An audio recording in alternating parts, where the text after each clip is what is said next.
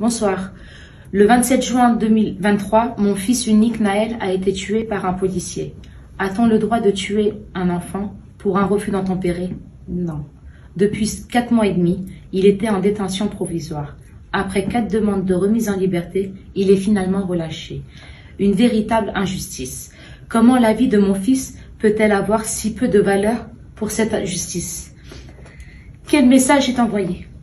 Un policier tue un enfant arabe ou noir devient millionnaire et sort de prison, retrouve sa famille tranquillement pour les fêtes.